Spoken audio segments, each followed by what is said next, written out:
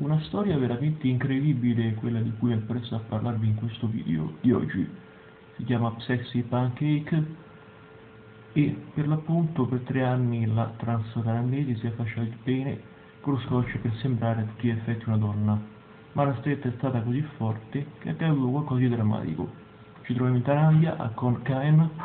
Al trans non bastava più vestirsi e truccarsi con una ragazza, i genitali erano troppo evidenti, troppo ingombranti, troppo motivo di impedimento. Così Sexy Pancake ha escogitato un espediente che però è costato davvero molto caro. L'eccessiva costrizione infatti del pene causa problemi di circolazione e richiede investigato un tumore. La malattia non lascia scampo, i medici sono così costretti ad amputare il membro. Sexy Pancake racconta la sua storia su Facebook, tanti arrivano a attestare il loro affetto, la vicinanza, alcuni dei quali si offrono di pagare tutte le spese mediche.